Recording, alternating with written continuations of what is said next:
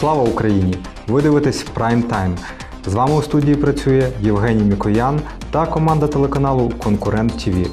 Сьогодні в нашій студії сім'я, яка вдруге вимушено тікає від війни і опинилась у Луцьку. Пані Катерина, пан Денис та їхні діти Улянка та Іванко. Вітаю та дякую, що сьогодні зголосились прийти всією сім'єю до нас у студію. Я знаю, що вам вперше довелось покинути свій дім ще у 2014 році, коли була захоплена захоплені частина Донецької та Луганської областей, коли відбулася анексія Криму. Скажіть, будь ласка, коли ви відчули, е, що потрібно тікати? Если брать 2014 год, то, наверное, сразу после первых обстрелов, когда услышали свист. На тот момент мы проживали в Луганской области, город Попасна. Я была беременна дочкой. Искали машину, но вы- выехать мы так и не могли. И спустя полторы недели нам повезло, и нас вывезли. Это был июль месяц. Вернулись мы домой в ноябре месяце, когда до- дочь родилась. Прожили еще два месяца дома и 24 января 2015 года мы уже окончательно выехали с нашего города, так как оставаться там не было больше сил. А ви кажете, виїхали, вам допомогли хтось з рідні, друзі, знайомі чи 14-15 год, да, возил мой дядя, как бы он нас постоянно туда-сюда перевозил. И уже, наверное, ближе к апрелю в 15 году более-менее стало тихо, мы вернулись домой, так как у всех у нас работы. И самое главное, родной дом, родные стены. По приезду домой ну, жилья практически не было, то есть развалы, все развалы. Тюль гуляет сама по себе в каждом доме. Зрелище, конечно, не для слабонервных. А в этот раз это, конечно, это не, это не сравнить. наскільки я розумію, ви переїхали в Сєвєродонецьк. Да. Скільки часу знадобилось адаптуватись до життя на новому місці? Ну, я вам скажу, привыкали мы долго к тому, чтобы не было страха прилетит, свистит, упадет, не упадет. То есть каждый выход на улицу – это как испытание был. То есть каждый выход на улицу, гуляя с коляской, очень, очень долго, очень тяжело, и никакие поддержки и слова посторонних людей они не помогают. Поверьте, это, вс- это все равно есть в памяти, это хранится в памяти, и спустя вот 8 лет никто не думал, что это придется пережить снова. Просто еще раз. 24 лютого, коли почалось повномасштабне вторгнення е, Росії в Україну, які були перші дні вашої, вашої сім'ї? 22 числа, как бы, когда это все уже начиналось, мы сразу изначально мы сложили детские вещи в сумки. Своего мы ничего не брали. Наверное, еще где-то где-то не верилось и не было понимания того, что это действительно оно придет к нам. Но уже с 23 на 24 в ночь без 24 утра, когда по центральной улице у нас окна выходят на центральную улицу, прошла те- техника. Тобто російська техніка відразу в'їхала в вас? Нет, нет, это, это наша украинская техника. То есть как бы и их в городе не было, да, и все. И когда они уже вошли на защиту нашего города, тогда уже пришло полное понимание того, что пора опускаться в подвал. Первые выстрелы начались где-то в 7 утра, да? Да, где-то в 7, в 7 часов утра уже А у вас весь був город. как бы- приватний будинок чи це Э, багатоповерховий? Нет, пятиэтажный дом. П'ятиповерховий загальний підвал був. Да, да, да. Чи були якісь умови перебування, чи був е, вихід води загальний в підвалі, де можна було брати, чи був якийсь у вас доступ до продуктів, е, харчування, і з ким ви там перебували на той момент? Получается, у нас было м, воду мы только набирали это в в своих же квартирах. Также Каждый раз поднимаюсь ну, под- да, на свой страх и риск ты поднимаешься На наверх, этаж. э, это также за продуктами питаниями. Пока еще был свет, э, ну, в холодильнике еще что-то хранилось, а потом это все со временем это, ну, благо погода препя- не препятствовала этому, были морозы, хранилось все на, на балконе. Вот. э. Потом, получается, у нас уже Через когда дня пропал свет. пропал свет, э, потом со времени вот это же газ одновременно, ну там буквально, может, какие-то были, может, пары оставались в трубах, что еще, ну, еле-еле-еле, там, ну, чайник можно было кипятить где-то с час. Але на фактично печке, відключили да, від Практически, да, где-то. Вот. Единственная вода была. Да, Вот, вода которая- была, света нет, да. интернета Ну, нет, то есть как бы ничего нет. Магазины работали 4 дня, пока еще вот как-то можно было выбежать, что-то купить.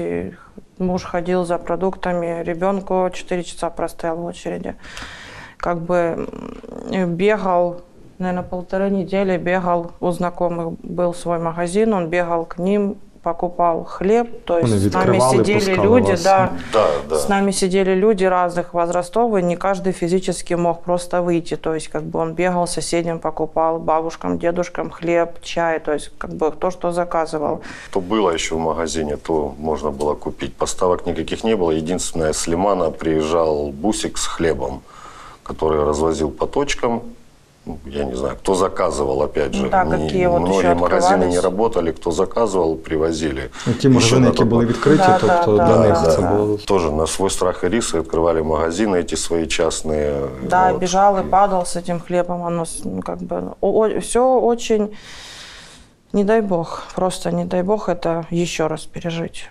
А яким чином ви дізнавалися інформацію про те, що Сначала відбувається? работал про и интернет, потом как бы э, где-то кто-то кому-то, соседям, ро- родственникам, кто-то прибегал, кто-то говорил что-то. Когда уже пропал полностью свет, м, мы даже не знали, живые наши родители, не живые, где, что, почему. У меня мама с моей подружкой, они прибегали к нам в подвал, приво- нам приносили свечи, Так как свечи заканчивались очень быстро, и на весь подвал света этого не хватало. И потом все вспомнили старые добрые времена, постное масло, марля, да, делали такой свет. Факел робили, да? Да, ли- лично я мыла голову баклажкой холодной водой, потому что гигиена все равно должна быть. Дети были не купаны две недели, так как никто не поднимался домой. Была возможность, бегал муж, купал ну, детей, а потом просто возможности уже не было. Ее просто нет. Ну, это когда свет еще был, первые дни, что поднимались, опять же, на свой страх и риск. Ну, але скільки часу це ще була можливість у вас піднімати? Шесть дней. Шість днів. Первые Шесть шесть дней, дней. да. 4 утра я когда-то кушать варила, потом в 6 утра, и уже последний раз перед, наверное, я не знаю, перед концом, да, наверное, 30 число было, уже все, уже тогда никто не поднялся, потому что прилетело прямо возле нашего дома, где разбили детский сад, разбили соседний дом пятиэтажный, все горело и пылало, и после того уже никто не поднимался. Тобто інтенсивність бойових дій в вашому Ой, районі з кожним виросла, днем і все це вже вище стало і вище, небезпечніше. Да. Тем более пятый даже, этаж да, подниматься. даже постоять возле подъезда уже с каждым днем ты понимал, что ты этого не сделаешь просто. Ну, Тобто будь-який е, В любую секунду. зайвий раз вийти з підвалу це нет, небезпека. нет. Да. Две недели мы прожили просто в темноте. То есть дети не понимали, почему всегда темно. И днем, и ночью темно. И Ну, це найстрашніше, що діти стали свідками того, що дети стали відбувається. свидетелями, да. То есть у нас после 2014 года ре- ребенок начал косить одним глазом. В том году мы сделали операцию. Ну, теперь ждем, что будет дальше у нас. Як ваша дочка Уляна це взагалі перенесла? Ви якось їй пояснювали, що відбувається? Ну, первое время мы, как она была маленькая, если где-то у нас была ротация, то в городе мы говорили, что не бойся, это гром, это- ну, это как бы это все нормально. То есть в этот раз ребенок уже осознанно, он понимает, что, что вообще происходит в стране. И как бы она отвлекалась. Были, ну, были дети, они играли, они там чем-то занимались, а вот наш мальчик, он мы, приехали, мы когда приехали в Хмельницкий, то есть мы поняли, что наш ребенок разучился ходить. А зараз ситуація Ну, теперь вот, как бы нас поселили в детском саду, мы его раздели, и он, он просто шел и падал, шел и падал, он не понимал, почему так. И на следующий день муж проснулись, взял его, и там детские ступеньки, маленькие перила. И он начал вверх-вниз ходить, и как бы и он Така снова самостійну начал реабілітацію ходить. Ну да, провели. то есть постоянно в вещах, постоянно в сапогах, постоянно в куртках.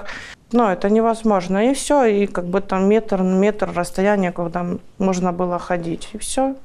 И вот так. А були діти інших сімей з вами в Да, підвалі? были. Да, были дед, ну, были детки, были, и, ну, у нас, получается, Ваня был самый маленький. Ну, так были дети, конечно, были и старше У- Ульяны, и младше Ульяны. Четыре года был мальчик с нами. А яка доля зараз цих людей? Вони теж змогли Э, виїхати? Ну, э, Повыезжали кто куда. Да. Не знаю, одна семья, она выехала в бомбоубежище в стандартное у нас на этом, на предприятии химическом. Азот у нас, да. То есть они выехали. Где сейчас, Где кто, мы сейчас, не не знаем. знаем. Последняя информация поступила позавчера, что военные вывезли наших бабушек, последних двух, которых из всего дома оставались в нашем подвале. То есть как бы они одиноки, у них никого нет. Но они как бы, ну, потому что они сказали, выезжайте, иначе ну, они же никого не щадят, вы видите сами. не Вони стар- себе ведуть безжально. Ни, Просто... с- ни стар, ни мал, то есть им все равно. А скажіть, будь ласка, взагалі, за яких обставин ви виїхали з міста? Це була загальна евакуація чи власними силами? Мой отец э, всю жизнь военный, и так пришлось, что он уже три года защищает на- нашу Украину. Он ветеран МЧС, и опять он стоит на передовой. Мы Він не зараз думали, знаходиться на передовій. Да, мы не думали и не гадали вообще выезжать. У нас уже даже не было на это надежды. Произошло э, это так. Мы проснулись, прошло два часа. Який це день, перепрошую, війни вже був? Это был... 11 марта, если не ошибаюсь. Или 11, или 12, или 12. 12. Ну, в числах тогда уже потеряны были. Он Не знаю, эвакуировал 11 или 12. мою маму с братом. Все, залетели в подвал, крикнули, выбегайте. Мы выбежали. Дальше я не помню. Шок, истерика. И уже в себя мы пришли в Красном Лимане. Как бомжи. Ехали как бомжи. Просто бомжи. Грязные. Ну, але окрім цього, дорога Чорний. пройшла спокійно, не було по дорозі Пока мы обстрілів. ехали до Красного Лимана, да, уже сев по- на поезд, и как бы мы ехали с закрытыми о- окнами, ск- свет не включался. И под Харьковом мы ночью попали под обстрел. То есть два часа мы стояли, слушали, как... Це раз- було поруч, чи саме ваш потяг потрапив Ні, під Это, обстріл? Это это вот поруч. ре- рядом, но раскаты слышны очень хорошо. Ехали мы без ничего, то есть у нас у ребенка было на раз сде- сделать детское питание, дать покушать. Но благодаря хмельницким проводникам нам парень дал кусочек сала проводник, и с этим салом мы ехали сутки. Где-то на больших станциях забегали волонтеры, которые с коробок выкидывали какие-то бутерброды, какие-то пирожки, Красный Крест и спасибо Тобто, им. фактично в кожному місті зустрічали і кожен намагався Практично, чимось да, допомогти, да, давав практически да, продукти. то есть как бы никто не оставил голодным никого, делились даже в поезде друг, ну, с друг другом между собой. Все мы люди. Всі єдині У всіх зараз. одна Зараз біда. фактично ця війна об'єднала Да. абсолютно всіх. Да. І показує, що разом ми сила і взаємопідтримка це те, що Так. зараз найбільш потребує. Скажіть, будь ласка, зараз залишається хтось з рідних або друзів е, всі- ваших в Сєвєродонецьку? Розповідають щось про нинішню обстановку? Ну, Есть знакомая у нас э, с нашего подъезда, с четвертого этажа. Мы жили на пятом, она на четвертом. Вот еще какая-то информация от нее поступает. С каждым днем Вот. все больше и больше и больше. То есть если ра- ну, раньше били центры, новые районы, как бы, а сейчас уже как бы они массивно, они хотят его отобрать. Вот и все. Города практически нет. Валяются люди, трупы, никто не забирает. Они просто их не дают вывозить. Тобто, фактично, більша частина міста або під обстрілом, або знищена від обстрілів. То есть как бы даже те люди, которые могли еще эвакуировать и делать какую-то поставку гуманитарной помощи, то есть они уже больше это- этого не делают. И они же разбили гуманитарный центр, где выдавалась эта помощь. Скажіть, будь ласка, а як е, ви взагалі опинились в Луцьку? В Луцьку? Чому саме Луцьк? В Луцке мы, мы как оказались? Мы приехали в Хмельницкий, нас встретили э, МЧСники. Оказали нам прекрасную помощь, поселили нас в детский сад. Два дня мы про... Це був центр для біженців в дитячому да, да, садочку. да, Да. да, в детском Те, кто саду. был с маленькими детьми, тех в детский садик отправляли. Да, и потом через знакомых, как бы здесь есть у меня в Луцке знакомая девочка, которая написала про, ну, просто вы где и как. Она мне написала, что мы в Луцке снимаем квартиру. Я попросила у нее помощи. Она говорит, что как бы к себе я принять не могу, так как приехали мужа родители. Но я тебе могу дать контакт, кто тебе поможет. Все, мне дали номер телефона, я позвонила, мне не отказали сразу. Нас были готовы принять. Де ви зараз проживаєте? Э, Село Липины, центральная 1А. Нас приняли. Це будинок, це якийсь Це центр хостел. бывший хостел. Как бы. Там были люди, но ра- ради нас как бы нам уступили места. Нас приняли люди, которые, вопреки своим семьям и детям, они дарят нам свое внимание, ну, тепло.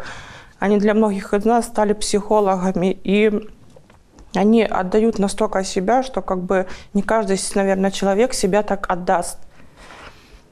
И каждый день, когда они приходят к нам, просто они улыбаются, они смеются, они пытаются как бы нас поддержать, поднять нам настроение. Я, знаете, как хочу сказать, я благодарна им за то, что они нам дали снова шанс видеть, как смеются наши дети, как они улыбаются, как они просто живут. Мы живем. Я хочу назвать имена этих людей, чтобы знали все. И, может быть, когда-то они где-то заговорят. Я хочу сказать спасибо Жданюк Валентин Калинович. Это человек с большой буквы. Шумилка Анна. Это, это вот такая мама. вот И я не знаю, Цикалюк На- Наташа. Это люди, которые... Ну, это люди с большой буквы, просто и все. Люди, які вас підтримали в Люди, потрібний момент, которые, надають ка- вам люди, которые каждый допомогу. день у нас спрашивают, вы как? Доброе утро, вы как? Это очень дорого сейчас. Я с, с этой войной многие, многие даже родственники отвернулись от, от нас. Понимаете? Которые говорят, что не надо рассказывать, все у вас там хорошо. Тобто рідня, яка проживає з- Да. з- в Росії. Да. Российской Федерации, да. Понимаете? Которые говорят, сидите там жди, и ждите. Вот они придут и принесут гуманитарную помощь. Я говорю, спасибо себе ее оставьте. На жаль, зараз багато сімей перебувають в таких обставинах, то що есть люди рідня не з вірять. Російської Федерації не вірить, що тут відбувається, говорять про фейки, про те, що, що ми вигадуємо. Да. Хоча Ну да. ми свідки якби, цих подій. Це, нам це не з телевізорів показують, ми, на жаль, Мы це сами, да, бачимо мы на сами власні это очі. видим своими глазами, да. І це, на жаль, за цю правду люди платять життям. А зараз, там, де ви перебуваєте, вам м, допомагають є- взагалі там гуманітарну допомогу, відгукуються на ваші прохання. Тобто Да, постоянно, постоянно идут завозы, как бы э, у нас все есть, постоянно идут гуманитарки. Что касаемо детей, вообще в этом нет ни- никаких вопросов, сложностей. То есть э, мы не голодные. Это самое главное. це приємно У чути, нас що є хліб і- гарно відносяться. Есть крыша над головой, Тепло да. Дети улыбаются. И... и свет. Это- Самое главное свет. Да. Мы когда ехали в поезде, дети не понимали, почему светло. Ми вже відвикли від світла. Да. То есть у них Це- такие це зрачки страшно. были непонятные. Они, наверное, дня три, да? Пока вот глазки стали на место.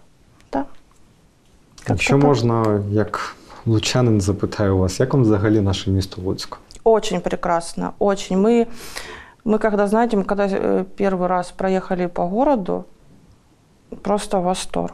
Правда, мы вот были три дня, в зоо- э, три дня назад в зоопарке. Ну, у нас ребенок младший, он сел- сельскохозяйственный, ему запомнились гуси га-га-га, он о них и до сих вспоминает. И обезьяны его впечатлили. То есть, как бы, мы очень довольны. Все относятся хорошо, все прекрасно. Э, Такси, маршрутка, то есть все люди с нами говорят. И неважно, на каком мы языке говорим, все люди относятся с пониманием. А это, о- а это очень дорого. Це навпаки показує нашу єдність, а не роз'єднаність, про яку намагаються нам розповісти. А, можливо, недоречне питання, але все ж, які у вас плани на майбутнє? Наверное. Жи- Жить в первую Жить.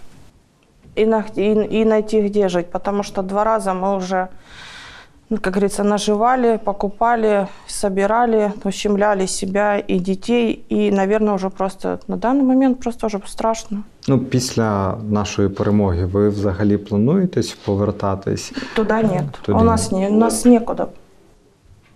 У нас просто некуда.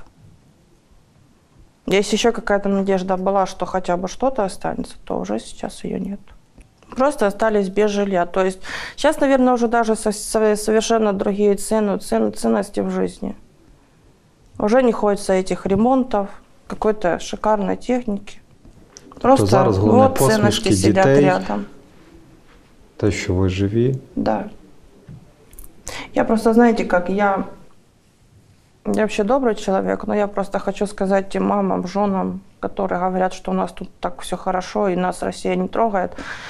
Я, наверное, бы пожелала вот лично от себя, вот как мама, как жена, да, вот как дочь, за которую сейчас борется мой, мой отец, да. Я хочу сказать, пусть они переживут то, что пере- наши дети пережили. Просто пусть переживут. Пусть почувствуют, как это больно, когда ты теряешь ребенка, сына, отца, брата, мужа. Пусть почувствуют. И когда говорят, что в Буче это, ну, э- это фейк, все, сердце разрывается.